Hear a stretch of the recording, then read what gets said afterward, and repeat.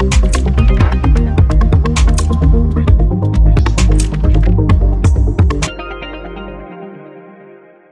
morning, Jeremy. I see that you have received your SOS reports. I sure did. There's so much information on this report. How do I keep track of all of it?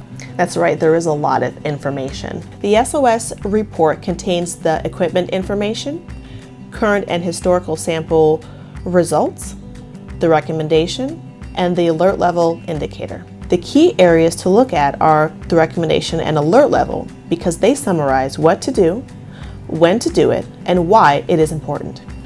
So, how are the recommendations determined? Well, the person writing the report uses the current results, the historical trends, and their experience in equipment management to create a custom recommendation for you. Okay, so am I going to understand this since I'm not a science major? No, you don't need to be a science major. With our science and engineering support, we can uh, tailor a recommendation and point you in the right direction for a fix that meets your business needs. All right, so the other key area was the alert level. So tell me about that. I'm glad you asked. The alert level indicator is an urgency based color code that provides an overall evaluation of the component health, allowing you to effectively manage reports by exception.